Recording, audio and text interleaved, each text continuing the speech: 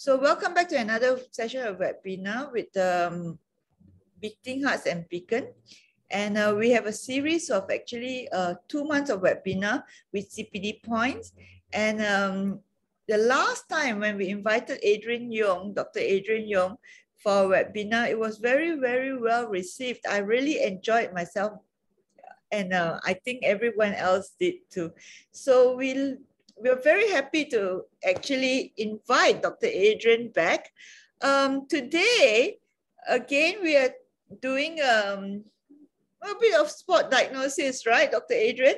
Yes, that's right. We're but a bit, a bit, a bit deeper now. Yeah, a bit yeah, deeper. a bit deeper now. a bit skin deeper. Okay. So um, without further ado, uh, Adrian, you can share your slides. Okay.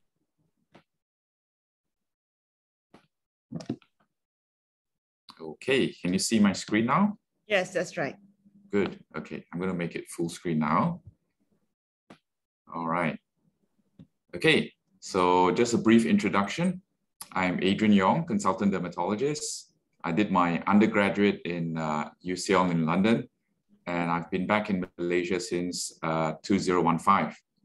My main areas of practice are in cutaneous allergy, skin cancer work, as well as a little bit of cosmetic dermatology. But what I enjoy most is in unraveling all the deep uh, mysteries of rashes.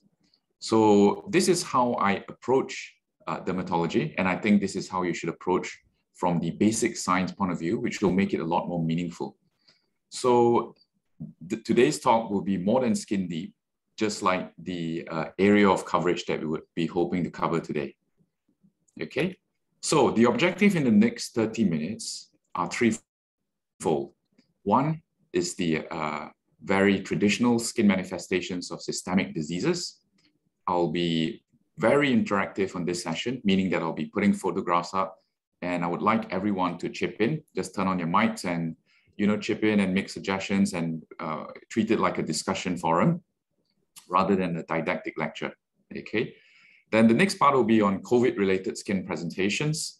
And finally, COVID vaccine-related skin presentations, which is very uh, pertinent and relevant to our practice now, especially uh, those who are in general practice will be seeing a lot more of that. So let's start off with description of this rash, followed by differentials and uh, final diagnosis, and then management from that. So let's kick off the session by someone volunteering to uh, describe this lesion. Okay, anyone? Okay. Well, is eryth erythematous? Yes, one point. Okay, it is um, surrounding the nasal area without affecting the nose. So it's not uh, rhinophyma, is it? No. Okay, very good. So you've touched on a little bit of a potential differential there. So Betty was talking about rhinophyma, which could be a feature of rosacea. And rosacea originates, the first step would be erythemo-telangiectatic rosacea or ETR, which is flushing, redness, and sensitivity. Most patients will just saying, will, will be just saying that most people think that they're drunk or embarrassed all the time. So that's the type one uh, erythemo-telangiectatic rosacea. Second type is papulopustular, which looks like acne and is very commonly misdiagnosed as acne. And then thirdly, what Betty mentioned is rhinophyma, where the nose, there's sebaceous hyperplasia, which means your sebaceous glands are overactive and enlarged, making your nose look very, very big, okay?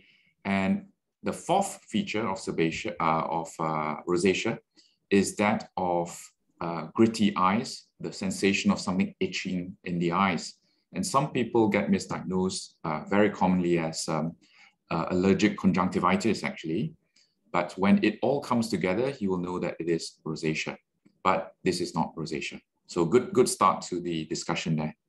Okay, it's not also butterfly because it's not uh, affecting um, the cheek area. Very good. So malar rash. I'm just doing all the yes. differential diagnosis. Yes, absolutely. So the malar rash, as all of us would know in your MCQs, EMQs, it would mean that it's suggestive of some sort of connective tissue disease and more commonly systemic lupus erythematosus.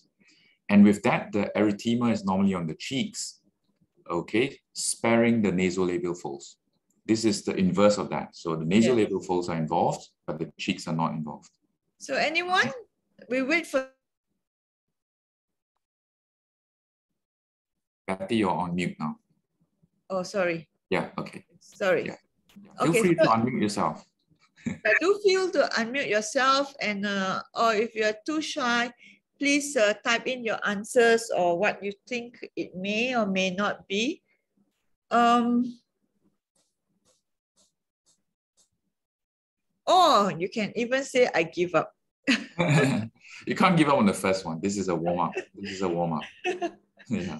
Oh, um, possibly allergic rhinitis.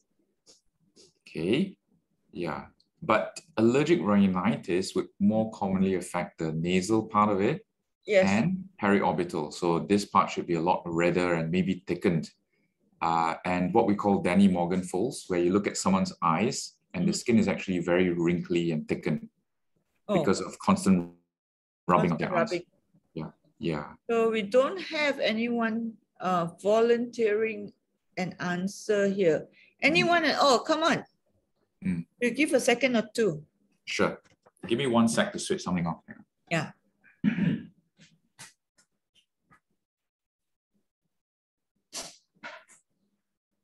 Anyone? Okay. Okay, so I think they need time to warm up. Okay. Okay. Sure. So we've gone through two differentials, what they're not. One, it is not rosacea. We've talked about the features of rosacea. Secondly, uh, it's unlikely to be systemic lupus because it's a malar rash, which uh, in this case is not a malar rash. It's involving the nasal, uh, nasolabial sort of sulcus, all right, areas uh, and ala nasi. And what's more common here, if I was going to tell you some hints, mm. it also involves the eyebrow area and the glabella area. So it's also red and scaly on the top here. Okay. So now that you have given the hint, somebody has said seborrheic dermatitis, and I think possibly. Yes, very good. So seborrheic dermatitis is the diagnosis here. Okay. Oh, great.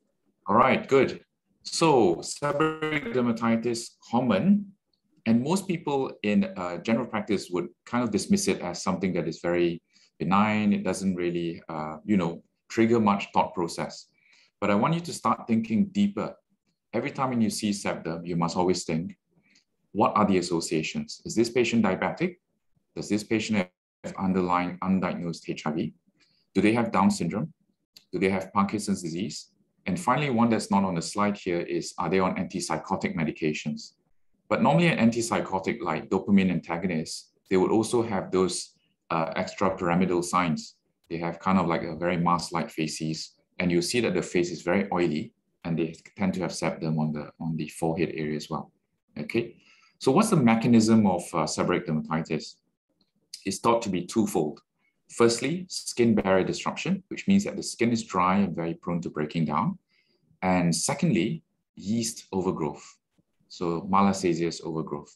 Okay, so it's a bit like panau, but panau of the sides of the nose. Okay, and one would then look at the uh, treatments and you start thinking, topical antifungals would work, that makes sense, but why would mild topical steroids be used long term? And that's exactly why it's important to understand that the etiology here, skin barrier disruption, if you use a mild topical steroid in the long term, it would actually make the skin even thinner, making sebderm more aggressive and recur more frequently. So like how you would use oxymetazoline nose drops on a patient with blocked nose, they get rhinitis, medic, you know, medicated related uh, dependence on the nose drop. In this case, they will become dependent on the hydrocortisone. And they have this withdrawal when you stop, it gets worse because the topical steroid will reduce the mild irritation or inflammation uh, from the yeast infection, but the yeast infection will actually get worse, plus the skin barrier will get, will get worsened as well. So where possible, try to avoid uh, any form of topical corticosteroids, even if they're mixed in. So, so your first for, line, sorry, your first line here mm. is yes. a first line that is commonly used, but not to be used? Not to be used. It should be topical antifungals. When I put plus minus topical steroids, it's only if the patient is excessively itching. And when they put the antifungals on, they start to have burning sensation and it's intolerable. So you can use a combination for maybe up to three or four days, but uh, you know, make sure you educate the patients that long-term topical steroid use will lead to dependence. So it's better to switch from a mixture to a pure topical anti, uh, antifungal if possible, right? But simply said, why have I put there as an option and or mild topical steroids? Because some patients just cannot be compliant enough with a pure topical antifungal because of the irritation that it produces in the initiation phase. So sometimes you need some help. Yeah. Another way of prescribing it is to prescribe two tubes. So one for the morning and one for the night. And then you can tell them the night one can be stopped after three days, which is the one containing steroid. Okay. Now the second line is oral antifungals. And this is commonly used in people with underlying risk factors like diabetes or HIV, because they tend to be more resistant to treatment. Okay. Now, the third thing to prevent recurrence is to use uh, adequate moisturizers and emollients and do not use uh, cleansers, face cleansers or washes which are too harsh, which will perpetuate the problem. Okay. So, so basically this, this seborrheic dermatitis, the underlying because mm -hmm. as in the pathology is still a fungal infection? Yes, the initiation is barrier disruption first which means that the skin is dry, flaky, and I weak. See. And then yeast, second, uh, secondary yeast infection. Okay. okay. I get it now. Okay. So any other questions from this? If not, we'll move on to the next. Yeah, we move on first. We'll take questions at the end. Great. Okay, now I think this is a big hint, big hint, but um, we I won't blame you if you can't make an immediate diagnosis, but just maybe talk through it and then we'll get closer to it. Okay. So what do you first see? Some okay, of these. Guys, anyone?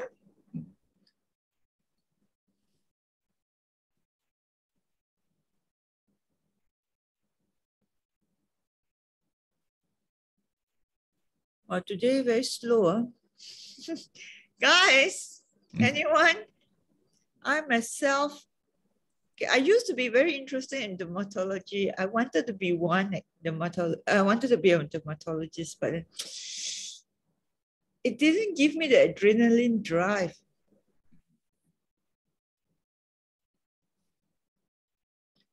Okay, I think it's pustules. Can I say it's pustules?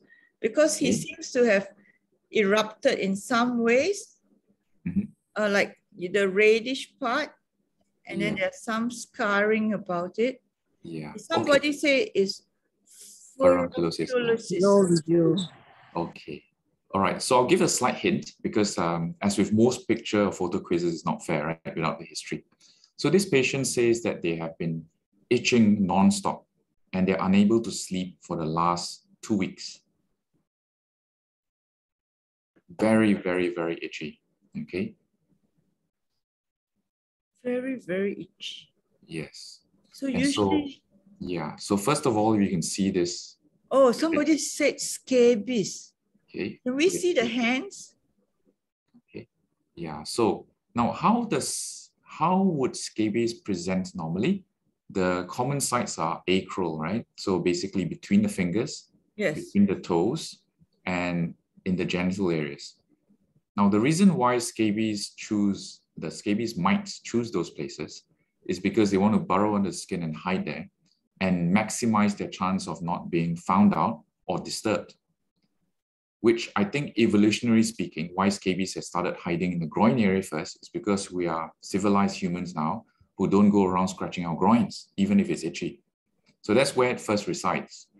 And then it goes between fingers and it goes between toes so that you don't disturb it and it can thrive and continue to lay eggs and have the next generation coming out, okay? All right, but this is not scabies. This is not scabies. Okay, so try and draw a similarity between this animal here and this animal shape. here. Yeah, if you look at this, the shape, right? And you start looking at this shape here. You start seeing a pattern here. Oh, sorry, sorry, sorry. Hopefully that didn't give you any clues. Eh, so you can see here, the shape here is the same as the shape over there. So what does that tell us? The patient is very itchy. And as soon as you see the rashes all over on the arms and the legs, this is actually the first place I would examine anyone when they say they're very itchy. And why? Because I'm trying to figure out, is this a primary dermatosis? That means primary skin disorder. Mm-hmm. Or is it an internal disorder? So an internal disorder means that the rashes are induced by the patient, not the other way around. So they're not occurring by themselves, but they're induced by the patient. So if you see how many of us can actually reach the center of our backs without struggling. So you see if your hands are going on the top here, on the right, left, bottom, you can reach, but there's an area here that you can't quite reach of your back, no matter how hard you try, okay? There will be a butterfly spared area on the back. You can see, see some, yeah, you can see some telltale signs of scratches here where he was trying to get to the middle, but he can't get, and there are streaks, fingernail marks. The ones that he can get at, it starts to bleed. Okay, so these are excoriated areas. And then there's pigmentary areas as well, where there's brown pigment spots. So when, if the history is two weeks, I won't believe this. Why? Because there's post-inflammatory hyperpigmentation, which yes. means that these have been going for months and months.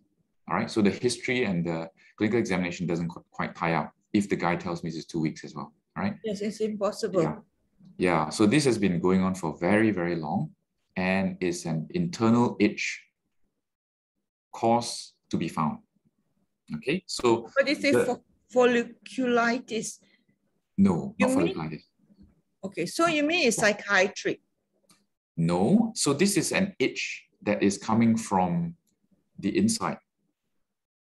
Okay, so I'm going to go to the next slide so it makes a little bit more sense. Then we'll come back to this, okay? So the, the common presentation for these kind of patients is that they will say, I'm very, very itchy all over and I've got a bad rash all over. So then you start thinking, what are itchy? Eczema, scabies, drug reactions, maybe, um, you know, uh, other things that may be related to autoimmune like dermatitis herpetiformis, you know. So, but with those things, you can just jump to this, which has a very different track of investigations compared to all the other skin disorders. Okay, because if it's eczema, you start looking at allergic potential, right? You look at scabies, you're potentially looking at the three sites, fingers, groin, and, and uh, the feet, okay? Uh, and then if it's this cause, you start looking at the butterfly spat area in the back and you can tell, and you can ask him the next question, do the rashes appear on, the, on their own or is it a result of you scratching? Which means to start with, you itch, and chances they will say, yeah, I keep scratching it and it gets worse and worse, right? So what this is, this is actually generalized pruritus or itching, okay? Now, when it gets severe, it's called nodular prurigo, which means that the nodules that develop from chronic scratching becomes very thickened, okay? So the name is prurigo uh, nodularis or prurigo nodules. Now, these are all related to internal disorders. Oh. Okay. So if you look at this here, we have started, we've made a start on eczema and scabies here, right, in the history. Okay. And also drug allergies. Okay. And then dry skin. These are the commonest causes of itching to start with. Okay. And very commonly to reverse that drying, we'll tell them avoid soaps, use soap substitutes with less bubbles and foam, and then use, uh, you know, some sort of mentholated cream to, to cool so aqueous cream put in the fridge can be quite useful or menthol-based aqueous cream can be useful as well. Okay, so if that doesn't improve, then we have to start thinking about internal causes. So you can look at internal causes here. These are how you would investigate them. So full blood count and film, because that will look for over here, hematological disorders, iron deficiency anemia, uh, leukemia, myeloma, lymphoma. Okay, so my mentor in the UK was brought, um, he had a, a, lawsuit against him for missing someone who had chronic pruritus for about five years. And that chap, the only thing that he did not do was a chest x-ray. And the chest x-ray was subsequently found to have very enlarged hilar lymph nodes on both sides. And he had a lymphoma diagnosis four or five years down the line. And on that basis, that patient retrospectively said he was misdiagnosed five years ago. So this is a very challenging situation where we have to consider this these causes initially. Of course, our society is not as litigious, but you know it may come to that someday, and you have to be very alert. So, think blood screen would help to rule out all the underlying potential causes here. And more commonly, of course, are renal disorders, uremia with uh, chronic kidney disease, liver disorders causing cholestasis, and then hyper or hypothyroidism. So a basic blood test was, wouldn't harm the patient. Now, I wouldn't recommend serum protein electrophoresis on the first onset, okay, unless all the other bloods are normal, a chest x-ray normal, and there's nothing else to go with, and the pruritus is still very persistent, okay? But if all these are normal still, then uh, you know you would have to refer to a dermatologist like myself to consider other methods of testing, which involves therapeutic in some ways. So sometimes we use things like gabapentin to treat neuro, uh, neurological itch, which can be useful in renal and liver pruritus. Uh, the people who might have done hepatology as well would come across uh, people have used ursodeoxycholic acid or rifampicin to help with liver-related itch, especially things like primary biliary cirrhosis. Okay, and with hematological disorders, you need to correct the underlying causes to improve the itch. All right, so we'll just go back to the picture so that it's engraved, uh, etched onto your mind. This is a how this can sometimes throw certain people off if you just memorize this as a butterfly spread area are the traditional practices that some of our local patients have, which are not as common in the UK, because these are described in the Western literature. In our society, we also have uh, uh, elderly uncles who use back scratchers, right? So they use those long wooden things to scratch I themselves. see. Okay. So, so sometimes you might see streaks, very straight line streaks like that. And then you can ask them, do you use one of those? All right. The other thing that can throw us off sometimes is when patients start putting calamine lotion on and the skin becomes so dry and flaky, but there's a slight pink tinge to it. And then you think, oh, this is dry skin. It's asteatotic eczema, so it can't be internal itch. But that's because the patient has put calamine lotion on very commonly. Okay. Now, on that note, calamine lotion is not preferred compared to menthol in aqueous cream. Why? Because calamine lotion, although it has a good cooling property in reducing itching, but it actually dries the skin out even more when you leave it on. So what happens is you end up building a vicious cycle of the scratch and itch and dryness, and then you develop secondary eczema. Okay. The other thing, of course, is the traditional practices of old Chinese aunties that might be using tiger balm to try to treat the itch, and they can induce a allergic contact eczema that can develop large patches on top of this background pattern that you see. Okay, so those are just slight local modifications that you might need to think about. Okay, on Facebook, somebody mentioned Sjogren's disease. Yes, okay. Yeah, Sjogren's uh, is a connective tissue disease where it can affect your uh, salivary glands, your tear ducts, causing dryness, and it can also cause a malar rash. Uh, but it is not very common for it to develop uh, in this form where it is just on the back area. Yeah, where because this is coming from an internal disorder. Yeah. All right. Okay. Okay, let's good. Move on. Okay, let's describe this. Uh, I can only give one hint. This is a left leg okay. we can also tell that. Thank you very much. Just in case, just in case the picture is not clear enough. Oh, vasculitis. Hmm. Okay, go on. Anyone? Let's give left leg. Yeah, I think you enjoy this. I think cardiologists would enjoy this too, for sure. Vasculitis, erythema nodosum. Oh my God, I've not heard that word for a long, long time. Okay. Okay, so somebody said cellulitis. That did come to my thought. Okay. Oh, uh, yes. Okay. Okay, it's the left leg. The fact that it is a left leg. no, no, no. Don't read too much into the left leg. no, don't read too much into the left. Leg. okay, thank you very much. Okay, so let's go through the three uh, different differentials that have been offered so far. Let's talk about cellulitis first. So cellulitis, uh, you have the advantage of uh, tenderness, which means that when you touch it, it's warm, painful, okay? And also, it would be well demarcated, and normally it has a tide mark. So where it starts off and where it ends, it's normally a whole entire area, which is well circumscribed. Now, what we see here are isolated red areas, right? One here, one here, one here. So it's a bit too patchy for it to be cellulitis because that would be in the subcu, subcutaneous area. Um, it could be something called erysipelas, which is involving the superficial layer only, but yes, pretty but uncommon. Dr. Kaur said erysipelas. I've never yeah, heard it. Yeah, so very, yeah, so erysipelas is just superficial skin infection due, due to staph or strep, right? Now, so cellulitis is a possibility there. But the patient says it's very, very tender. Okay. And when you feel it, it's warm as well, but it's very localized. Okay. Now let's cover the other possibility. Could this be vasculitis? So what is vasculitis? Inflammation of the blood vessels uh, due to immune complex deposition, damage to the blood vessel wall, blood vessel bursts, red cell leaks out, gets deposited under the skin. So when you look closer, you start to see peppering of red blood vessels. Okay, as though someone has uh, slapped that area and you get lots, lots of red dots. Okay, so this is not quite uh, vasculitis. Okay, without saying too much.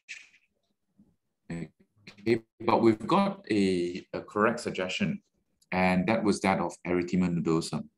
Okay, so this is a typical erythema nodosum and is due to fat or subcutaneous inflammation. These are tender nodules typically on the shins, but it can also occur on the thigh and the forearm.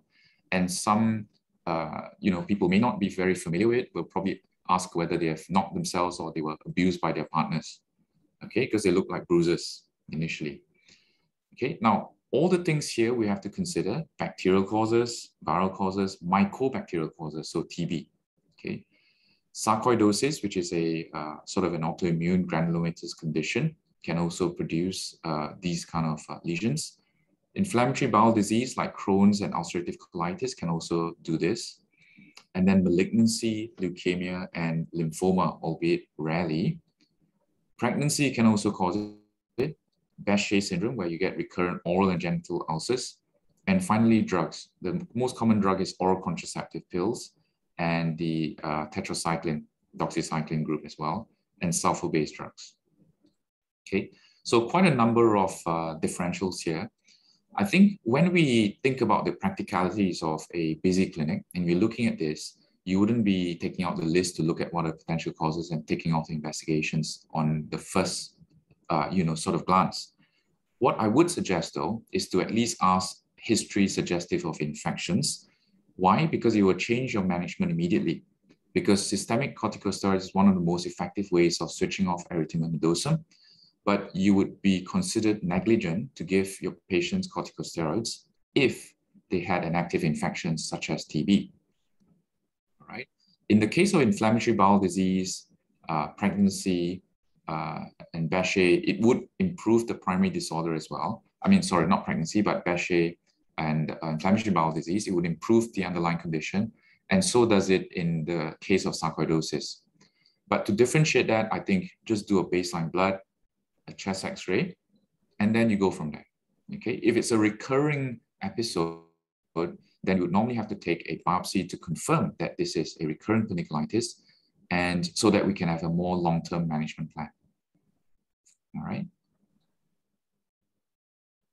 Okay, so any other comments or questions on this? Contact dermatitis, uh, it may well be, but remember that dermatitis or eczema involves more of the epidermis. So if I just go back one photo here, these are deep, meaning that they're within the dermis or deeper. I'll give you that here that is slightly flaky, but is not as eczematous, not as weepy, not as wet, and not as superficial because an epidermal change is normally very weepy, wet, and scaly on the top. Okay. All right? Yeah. So that was erythema nodosum. How do you, can I, sorry, can I stop you here and just, just have a look and make maybe a better, let us have a better description of how to differentiate. So it's basically tender. Tender, yes, red localized areas, and it's there are isolated uh, patches as well. One here, one here, one here. Versus cellulitis, which is the whole thing joined up Yes, together that's right. red. Okay, Cellulitis, I think I can understand. Mhm. But vasculitis, I've seen that looks exactly like this. Mm. Okay. Now, I'm not going to give too much into vasculitis Okay, because uh, we we will spend on. some time. Okay. Yes, we will spend some time. Yeah. Okay, we go on. Okay. All right. So, okay. Next picture here. Oh, vasculitis then. Yes. now you can see the difference. So let's see.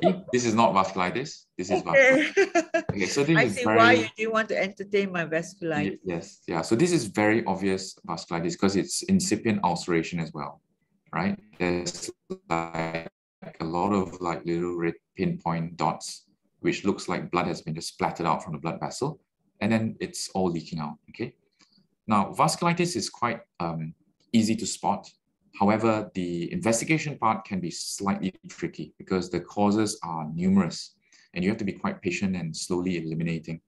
But the immediate urgency here is to check two things. One, whether there's any murmurs, because it may suggest uh, endocarditis, of course. And if you have a, a friendly cardiologist like Betty here, then maybe a uh, transesophageal or even a TTE first or e- uh, echo to have a look for any potential vegetations. Okay. The second thing uh, is, of course, related to the kidneys. So if you can do a urine dipstick to check for blood, if there's lots and lots of blood, you need to send an urgent blood test off to check renal function. Because if it's a rapidly progressive glomerulonephritis or vasculitis that's affecting the kidneys, that can cause damage to the kidneys very quickly. So looking beyond the skin, these are the two most urgent things that you need to consider before you take your time and look up the literature on what else to do okay? Because I'm sure if you don't look at it every day, you have to look it up and revise again. But those are the two serious things to rule out. Okay, so causes again. Bacterial, viral, mycobacterial, again, TB as well, okay?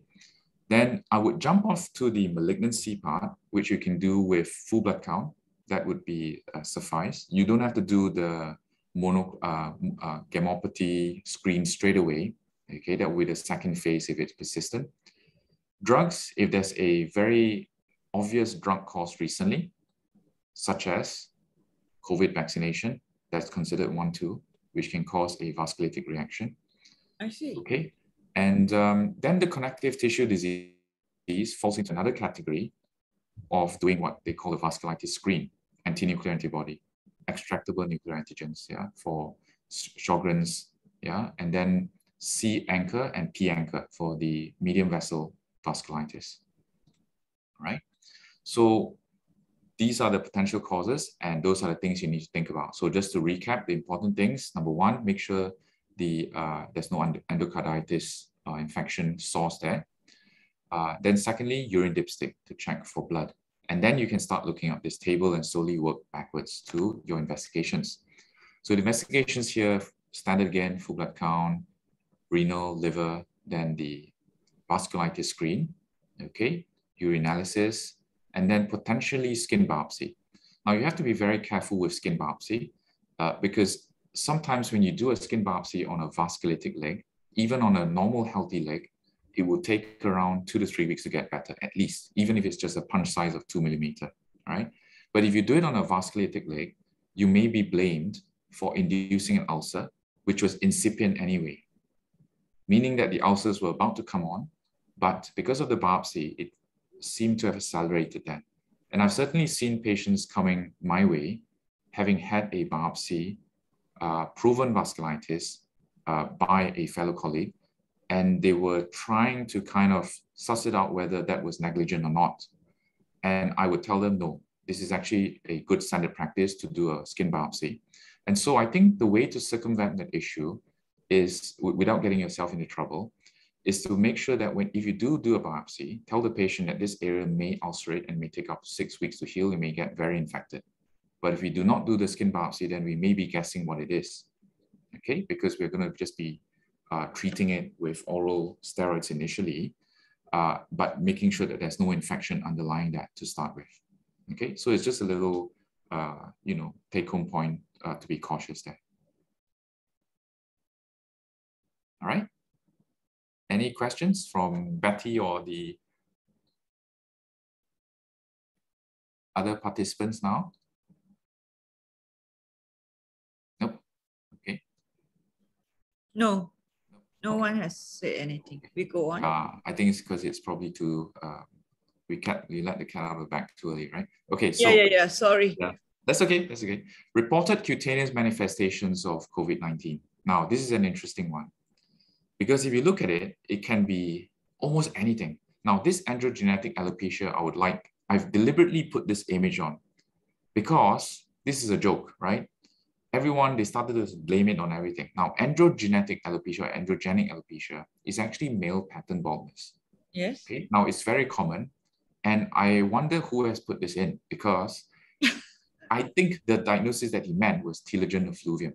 But I've taken this image just so that you're aware of the kind of things that you can find on the net now, including in medic certain medical websites from medical centers. These are inaccurate information there. I've deliberately put this there because we know that androgenic alopecia, the cause is dihydrotestosterone, which is excessive testosterone hormones, causing the M-shaped pattern on the front and the vertex top, which is very common. We know that's male pattern baldness, right? But what they mean by COVID-19 related hair loss, which was also recently published in the Star in a patient in Thailand, is telogen effluvium. Just like how women can lose a lot of the hair, shed their hair six to nine months after delivering a baby, or after an admission to hospital for dengue, six months later, suddenly your hair is very thin and it's falling out. That is telogen effluvium. So telogen is actually a stage of the hair cycle uh, shedding phase. Okay, you have three phases, right? Anagen is growing, catagen is resting and telogen is shedding phase. So what happens when you're stressed or unwell, you know, or uh, emotionally unhappy? So you, we are we end up a little bit like animals where all our hair or fur start to shed at the same time. They all go in phase and shed off. So that can be quite scary because you see clumps of hair in the shower on your pillow and you think you're going to go bald overnight, right? Within two days, you're going to be bald. Yeah, especially after delivery. What, what, is the reason behind that? Yeah, it's the emotional, emotional, I think, yes, and physical stress as well. That's why it's called labor, right? Very oh, intense is labor. Is it not hormonal? No, not hormonal. It's this acute stress episode. I don't feel any stress at all, but I could feel my hair just dropping off like in a bunch. Yeah, the stress to your body emo- uh, the, the physical stress. I see. Because even with dengue, with COVID, they're all significant illnesses that you know may end you up uh, land you in hospital, and you know the emotional turmoil that you may have mentally uh, is underestimated. So you know this is actually telogen effluvium. Okay, now looking at all the rest, periorbital erythema can be due to rubbing, can be due to ecchymosis, blood vessel bursting. Okay, but without going into the deep details of that, right? I would like to make you think of skin manifestations of any infection, not just COVID, in a very immunological way. If you think of it immunologically, then you'll never miss anything, right? So there are four types of hypersensitivity reaction, if you remember our medical school immunology, right? So type one is immediate type, which is urticaria. Urticaria, that's the first type, okay? Second type is the uh, direct cell death or cytotoxic, which you can get morbilliform type rash, okay, macular papular rashes. Okay. Then type three is immune complex deposition. What do you get? Vasculitis. So might be purpura, might be livedo reticularis, might be decay. Okay. Then you have type four, which is the delayed type hypersensitivity, like eczema. So it can be eczema-like and can be all over the body. All right. So when you think of all those four, then it makes the classification a lot easier and the way you think about it a lot easier.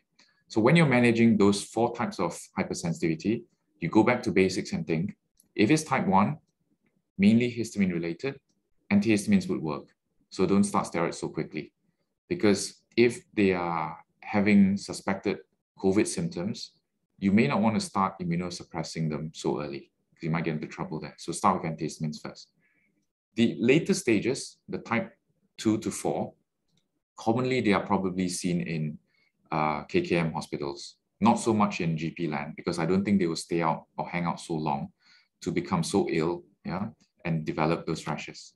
So these are the rashes that uh, is presented in the literature. But what's very interesting, I'll just like to draw your attention to it. This thing about COVID toes, pernio, chilblains is almost unheard of in Malaysia, even though our caseload is so high now. And that has been discussed time and time again in various dermatology meets over the last six months. And one of the main reasons we think why that doesn't happen in our country is because it's not cold enough. Because the mechanism here is you're getting cold agglutinins from the viral particles, your immune system re reacting to it. And then when it goes into your microvasculature, which are your fingertips and your tips of your toes, when the blood vessels get small enough, it starts to get a little bit blocked off there. All right. So it is simply too warm in our country to have such vasoconstricted vessels, and therefore pernio is not as common. Chilblains are not as common in, in our presentation. All right, even in the peak of the uh, COVID cases now. But all the others, yes, uh, has been seen. So hand, foot, and mouth-like vesic vesicles, urticarial reactions, as you mentioned, macular, morbilliform, almost like the Epstein-Barr virus kind of, uh, or penicillin rash, yeah? Okay, and then you have the purpura, which is the vasculitic presentations or immune complex deposition reactions. Okay, so in a way, it's slightly academic because you would be normally making the diagnosis of COVID before it becomes so severe, right? Um, so yeah, that was it. Okay, any comments or questions about this?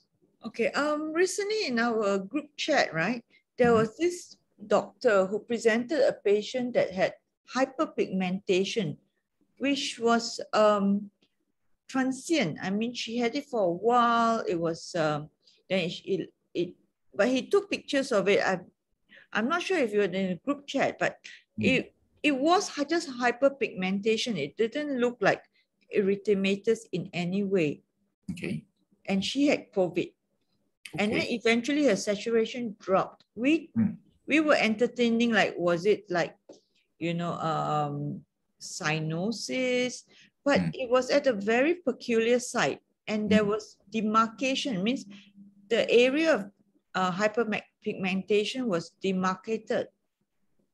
Okay it's not like it's the whole limb no. Ah localized. Yes localized. Okay localized normally it's post allergic contact dermatitis which means that they may have been a plaster. So if it's the shape of a square, most likely it was a waterproof plaster or one of those Salonpas, you know, paint patches, which contains non-steroidals that may make the patient photosensitive as well. Uh, actually, um, he didn't give that history. It just that, no. yeah, he as a doctor has been very nice to the patient, um, allowing her to actually WhatsApp him mm. on a regular basis of her, her progress. Mm. But eventually she was admitted. Oh, we, I see. Yeah. yeah. I'll maybe can get that picture and show it to you later. Yeah, yeah, that would be good. Yeah. Yeah. Yeah. Okay. But I think pigmentation post inflammation of any sort is possible. Okay. Yeah, whether it's a chemical, physical burn, or you know, an allergic re reaction that was very excessive. Yeah. Okay, so now this is by far the commonest COVID vaccine related side effect that I've seen in the last two months.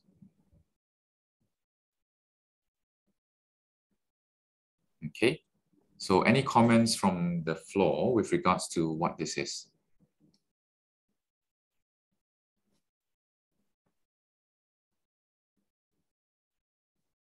Yep, very good. Oh, shingles. Yes.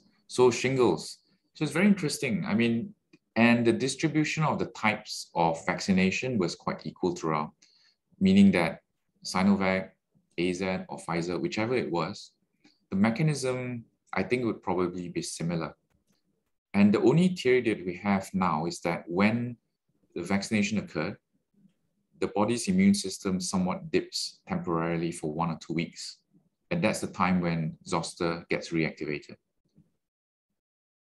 Okay, so this, this has been very common actually, uh, so much so that in our dermatology uh, chat group, there was also, you know, comments about that, that there's been, you know, a whole so-called outbreak of it after the, once the vaccine, uh, vaccination rates started speeding up, we were getting to see about, you know, four or five a week, as opposed to, you know, a lot less than that.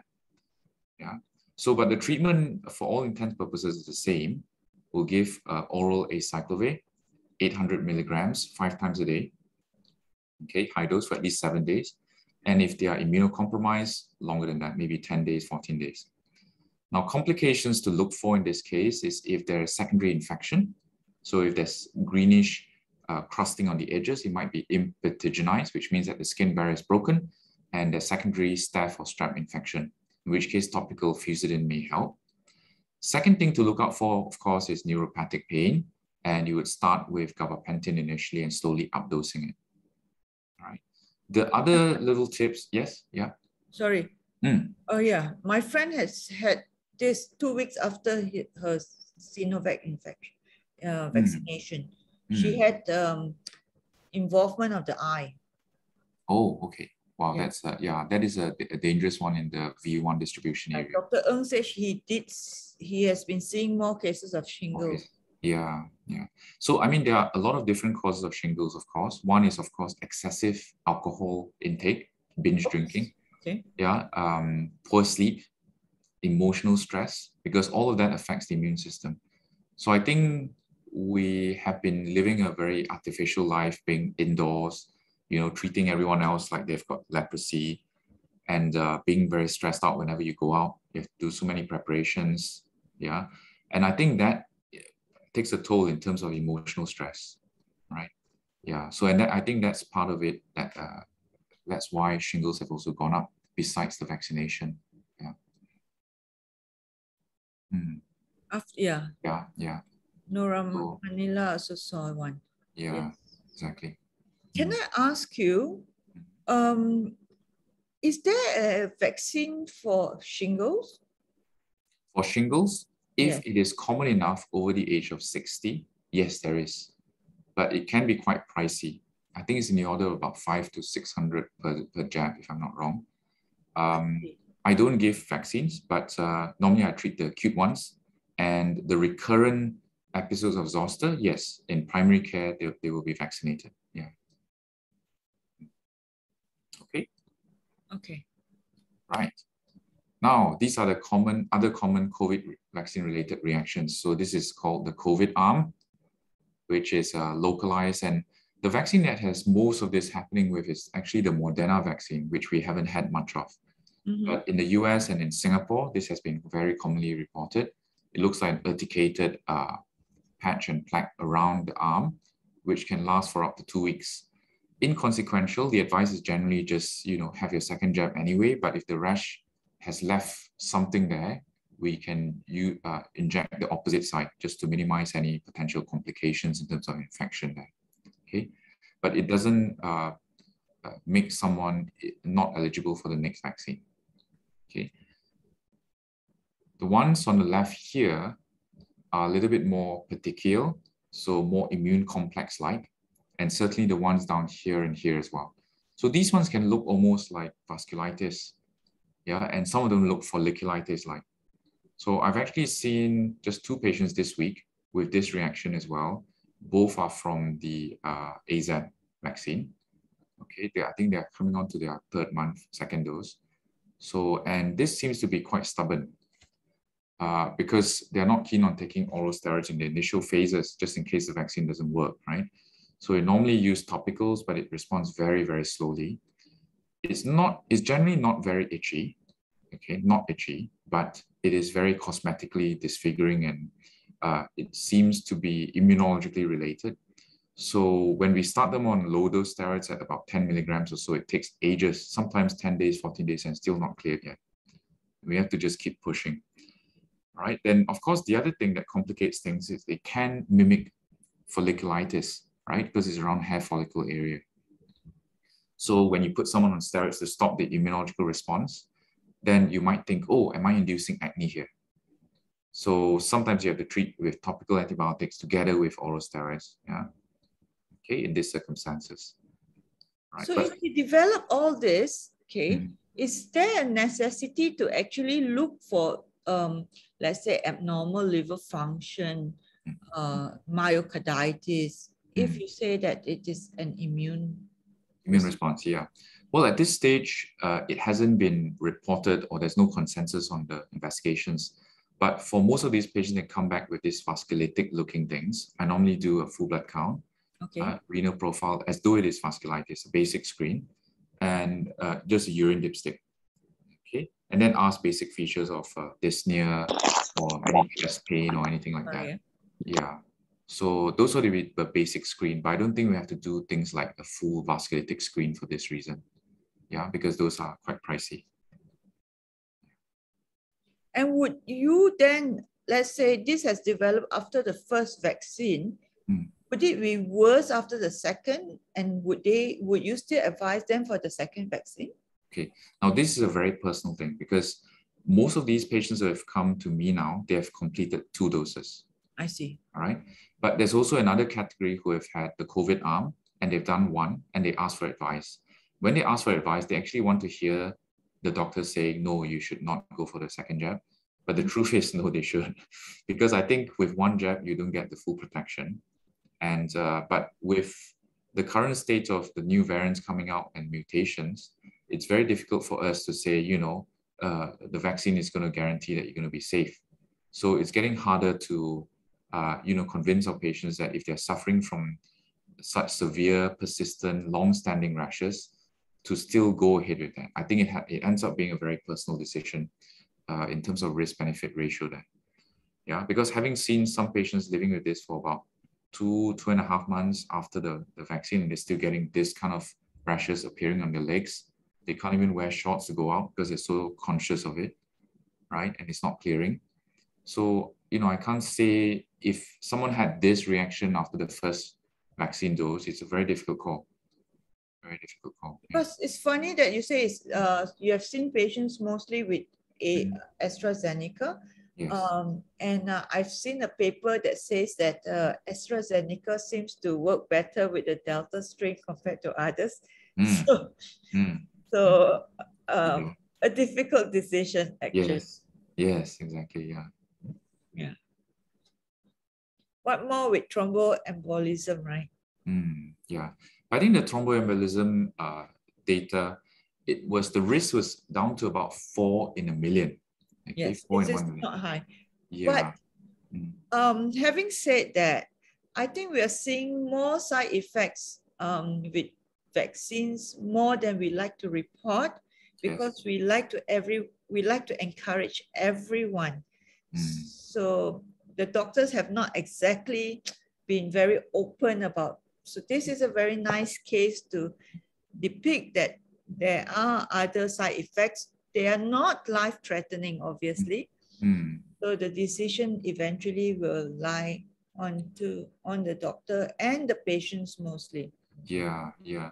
On that note, right, since you're you know talking about the side effects, I wonder, do you actually see many cases of uh, myocarditis no, I've not seen one myself. Not seen, right? Yeah. No, I've, but I have had many coming into my clinic mm. complaining of shortness of breath, mm. uh, symptoms. But I suspect that a lot of them mm. are anxiety related. Yeah. Um, it is shocking, okay, mm. um, how people are affected by the vaccination. Mm. Uh, not just the fear of the, the COVID, the mm. fear of the vaccine, and the fact that they cannot choose their own vaccine mm. is also a, a major problem with many people. Yes. People have problems with AZAC, wish that they took Sinovac. Some people wish that they took, you know, had Sinovac, wish that they took something else. Yeah. So yes. Mm. Now, because of course now that they're going to start injecting adolescents, and at one stage they were worried, right, that the young men would have myocarditis from the Pfizer vaccine. So I just wonder whether that is a real risk or is it like the AZ risk where it's so exceedingly rare that you don't have to worry about it so much? I I'm not sure, but to Mm. be honest, from what I, for example, my son had the vaccination with AZ. Mm. Wow, he was really sick for a good almost a week. Okay. Yes. And I don't think it's because he's a wimp. No. Okay. Strong immunological response. yes. But equally, I've also heard the people who are over 50, because there was a couple whose uh, the wife is in her 30s and he's late 50s. And the wife was uh, bedridden for like, I mean, not bedridden, but bedbound for like three days. yeah. So Uh, and he was fine. He was just laughing at her and saying, What's wrong with you? Yeah, my mom also had nothing. My mom was 80, my mom is 80 plus and she had Yeah. nothing. And my son was so sick. Mm. Yeah. So, So- cytokine storm there, Yes. strong immuno- immunological response there. It is uh, quite uh, interesting to see. Mm. Yeah. Yeah. So, Mm. any more? Any? Okay, so the last few things is about the use of uh, effect of steroids on vaccine efficacy. Because when patients with post-vaccine rashes come in, the biggest question mark: Do you use topicals? Do you use systemics? From my experience, if it's a localized reaction, uh, you know, morbilliform and all that, you should try using topicals. If you end up needing oral steroids, then go with uh, 15 milligrams, which is three tablets of the five milligram spread a day or less to minimize the uh, interaction. Of course, there's no hard and fast uh, evidence to show whether that, that is true or not, but these are the publications that WHO have underlined to say what is the steroid dose that it becomes uh, maybe inhibitory or reduced efficacy of the previous vaccination, uh, vaccination things like pneumococcal and influenza vaccines. Yeah. Okay, so 15 milligrams and below should be How okay long do we go for? for as long as the patient requires actually. So if you start with 15 milligrams and if it, it looks like it's responding very quickly, you quickly taper down to 10, you know, but normally I would do a one week course straight away. So 15 for one week and then review. Then if it looks like it's improving, 10 for another week, then five, then down to zero. Yeah. But I think a lot of patients are anxious because the moment you say steroids and you think, I've really, I'm already going through this terrible side effect, which means that my immune system is responding. Should I really shut it down? I'll just let it rip and so that I get protect good protection, you know? and then that's the difficulty. And then, you know, Yeah. yeah, it's, it's Um. Yes. Some. You know the the fact that the COVID vaccine has actually um is a very very different ball game in our diagnosis completely, and the way that it actually you know um caused the immune system to go haywire, Mm. um and also the thromboembolic risk because um, my colleague, a vascular surgeon in Sunway, also say he has been seeing a lot more DVTs. Mm, okay. Yeah. Not specific to AZ. No, no. Oh, okay. So AZ actually, um, the thromboembolism is mainly in the brain Mm. and it's venous. Mm. But this one, um, it is not specific to vaccination itself. He's not sure whether it is just the COVID infection or whether it is the vaccination. Mm, So he sees about 10 or 15 maybe DVTs a year, but now he sees about five to 10 every month. Oh dear. So Yeah. this is uh, maybe is the uh, couch syndrome also. They're What's not allowed. They're sitting I down for long hours watching TV or gaming, right? Not I moving. see, I see. Maybe. Okay. Are there any questions? Because um, this is the CPD point uh, QR code. So basically, um, if you're, you can only scan the QR code if you're watching from the laptop and using your handphone to scan. You cannot actually um, scan it uh, if you're using, watching it from your handphone, yeah? So we will take questions, okay? So Jiling P has asked, as a dermatologist, in any case that warrants use of steroid, do you prefer prednisolone over any other steroids type? Uh, in view of these steroids need less tablets of oral consumption to achieve the same strength as prednisolone. So he's talking about dexamethasone. Yeah. Well, I think the response so far, uh, we I prefer prednisolone because I know how it works and in terms of the dosing, and there's also more comparison in the literature. But I don't see any harm in using uh, equivalent doses of dexamethasone if you're more comfortable with that. Yeah, certainly um, dexamethasone is used more in surgery and also for brain swelling. So perhaps that could reduce more of the uh, peripheral edema effects if that's one of the concerns that you may have for your patient. Yeah. But um, dexamethasone is very uh, commonly used in the COVID setting, right? Mm, yes, it is. Yeah. Yeah. Reduces swelling a lot. Yeah. Um, so Dr. Ng asked, a young lady presented with Bell's palsy two days post second dose of COVID vaccine. Mm. Okay, that is also another common thing that I've heard. Mm. Bell's palsy. Mm. I hesitated giving prednisolone initially. On checking the literature, prednisolone was given for a similar case. Mm. I started her on prednisolone a week late, for a week, okay? Mm. Uh, a week, okay? Yeah. Not a week later, but you need to start prednisolone early in Bell's palsy, right? Yes, correct. Yeah. So I think in that case, yeah, we'll go ahead with that because that the stakes are much higher there. It's not just a rash, but you know, neurological function. Yeah. So this is after COVID vaccine. In herpes zoster, can gabapentin replace with pregabalin? Yes, certainly you can. Uh, pregabalin is more sedating. So, and, uh, but I find that gabapentin helps to reduce the itching as well as the pain, much better than pregabalin on its own. Yeah. So gabapentin is better at reducing itch and pain at the same time. Oh, sorry. Uh, hold on, huh? where did my, okay. If you have any problems scanning your this QR code uh, and getting your CPD points, uh, do, do message me. I'll give you my phone number here and then I will pass it and we will do it, um, we will do it um, manually. Joni, yes, Joni? Doctor, you are not uh, sharing your screen. Currently, it's Sorry? Dr. Adrian currently is Dr. Adrian your slide. Oh, yeah, so Dr. Okay. Adrian. Okay. Oh, yeah, sorry, sorry, sorry.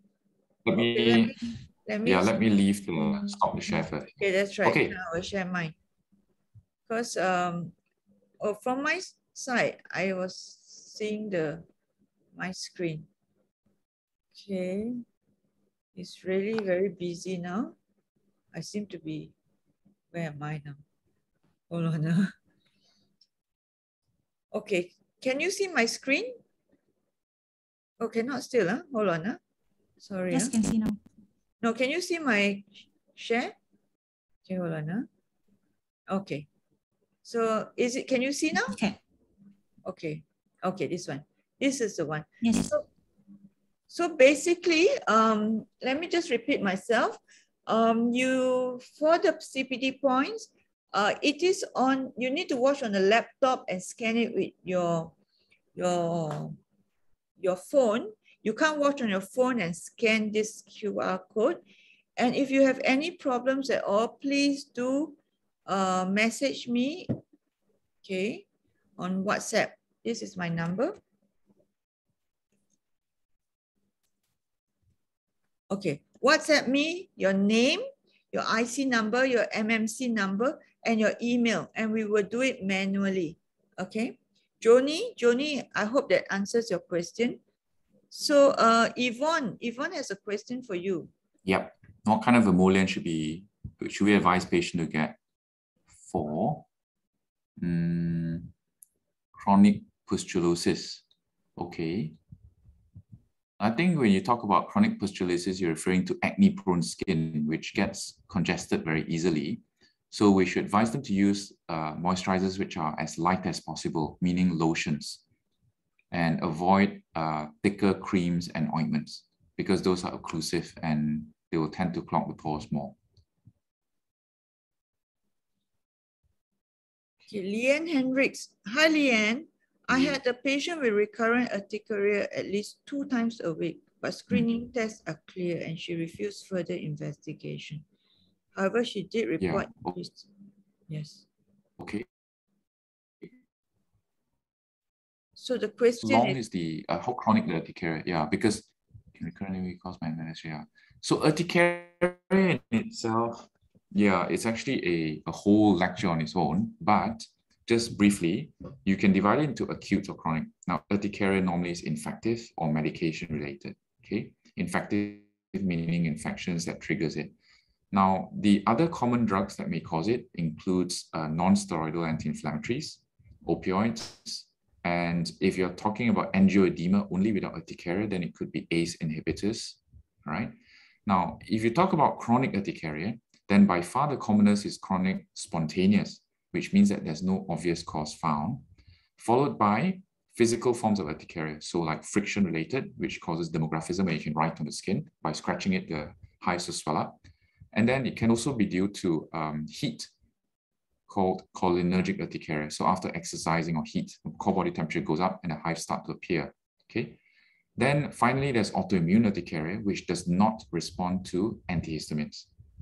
So normally you start with antihistamines as per license dose once a day. And then when you start to increase it to twice a day, three times a day, four times a day, it will start to bite initially. Uh, I mean, eventually. So it will stop eventually. But if even when you updose it to fourfold and the hives are still getting worse, it means that there may be an autoimmune factor to it. Okay, so for a patient who refuse any further investigations, oral prednisolone for one week maximum at 30 milligrams a day maximum, followed by antihistamines twice a day off license, which means uh, one in the morning and one at night. Uh, and you do that for the antihistamine should continue for at least a month before you reassess what to do next. If the antihistamines are not doing anything at all, but the steroids were, then there may be a hint that there's a strong autoimmune component so that needs uh, further workup for sure. All right, but the patient doesn't want anything to be done, you can't really do much really. Yeah. Yeah, I think there's some comments on the QR code. Huh? Yeah, yeah, yeah, no. Yeah. I'm trying to uh, reply now. Mm. Yeah, actually, when I scanned it, it also says dealing with pain in cancer patient. Huh? Yeah, it says dealing with pain in cancer patient, self-directed, attended as a delegate, September 8th. Uh, let me try. Yeah. Okay, QR code.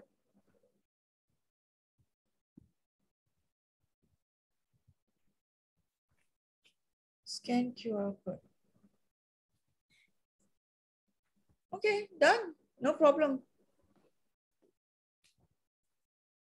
Oh yeah, but yeah, the, the, the thing is dealing with pain in cancer patients. Yeah. Eh? So mm. this one, uh, yeah. Dealing pain with, do we need antibiotics? Antibiotic. Okay, for erythema nodosum, you would use antibiotics if the underlying causes are Mycobacterium TB, okay, tuberculosis, or some sort of uh, infective diarrhea which is not going away, which means you might use oral ciprofloxacin, or if it's a, you know, sort of a common infection, upper respiratory tract infection, that may cause a serious uh, reaction like that, then yes, in those cases where the etiology or the cause is due to bacteria, then yes, it would be appropriate to use antibiotics. But be careful, try not to use um, tetracyclines because tetracyclines may be a offending agent in the first place. So if the patient is really taking tetracyclines, that, that, that may be a cause. Okay. Uh, am I, can you still see my screen or is gone? I can see your face. Oh, I see. Okay. So it's gone. Ah, do I? So have has everybody um has everybody scanned their thingy, the CPD points? Oh my God. Okay, so Fiza has actually sent me the wrong one. Okay. Okay, so let me just uh, let me just settle this. Okay. Um, Okay, give me a sec, okay?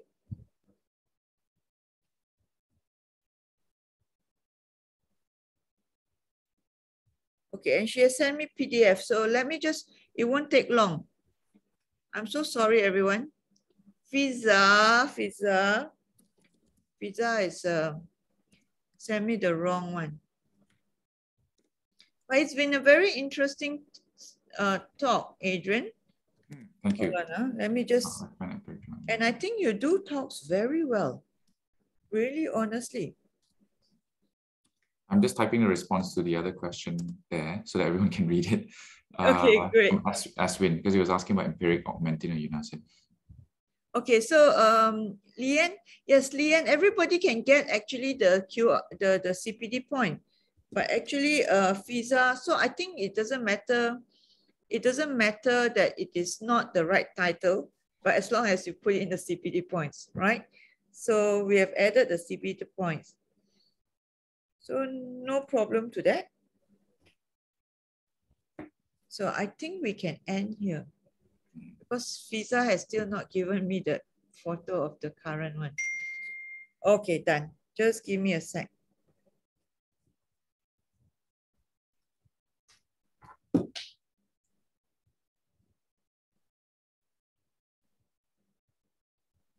How often do you, okay, I need to do this now. Sorry. Huh?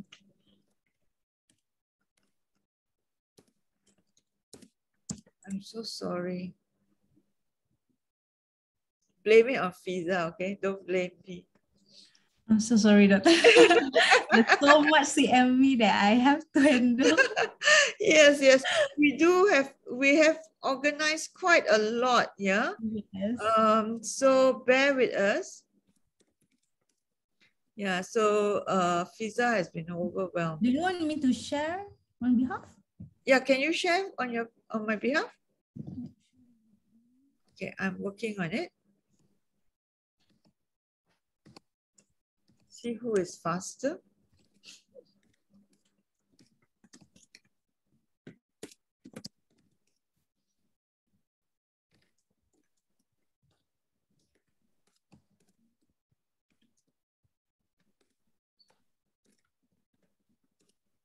Right, maybe you can try this one. I hope this is the correct one. You hope this is one. Okay, so you've shared. Okay, good. Yeah, maybe you can try and see, doctor. I Okay, so everybody, maybe today you can get two QR codes. for- Yep. Yes. Thanks to Fiza, you get two QR code. yeah, it's a free buy one free one. okay, let me try. Huh? Yeah, it's correct now. Oh, you can, huh? Mm. Okay, good. So we have two QR codes for all. Okay, thank you very much uh, for attending. Uh, and uh, it's been very, very interesting, especially with the COVID set, uh, COVID induced and COVID vaccine induced. Um, but we have more questions. Oh no. Keratosis pilaris. Oh, my daughter has that. Yeah. Yeah. So it's a problem, it's a genetic condition which uh, basically is associated with possible filaggrin gene mutation, which causes dryness of the skin. And sometimes is linked to ichthyosis as well, which is the fish scale skin on the shins, which are very dry. So the common topicals that we advise is topical urea, 10%, uh, and sometimes emulsifying ointment as well for the drier parts.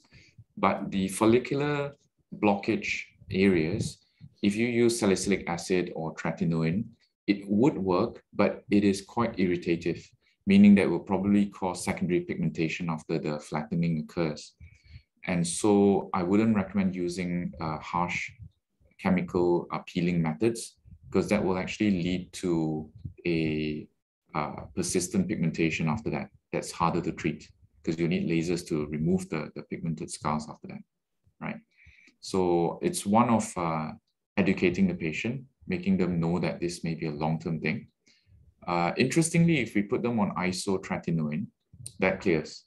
But isotretinoin should not be used purely for keratosis pilaris because the opposite result may end up with them getting more eczema because isotret is very drying to the skin. So as a temporary measure, it could be uh, useful. Uh, but I think general education is more important. Yeah. Serena asked, what about COVID foot swelling? What can be done? Mm. Well, I think if this is due to an immunological response, um, you have to sit tight and wait for it to pass. Most of them will resolve.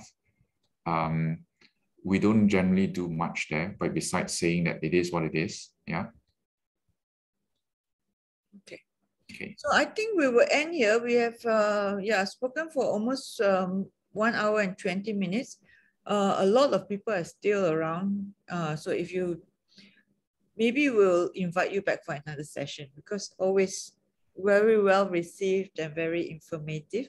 Uh, join us next week for another uh, collaboration. Of course, we have a collaboration with Beacon for, for almost two, two months, actually. So next week, we're going to speak uh, to an obstetric gynecologist. And um, so I'll see you guys then on a Wednesday, 9 p.m. as usual. Bye, Adrian. Thanks so okay. much. Thank you. Bye. Thank you very much. Thanks, everyone. Bye, Fiza. Bye, everybody. Have a nice week. And please stay safe. The numbers are still high. And worse, we are opening up. Okay, I'm happy about the opening up. but it is a bit scary.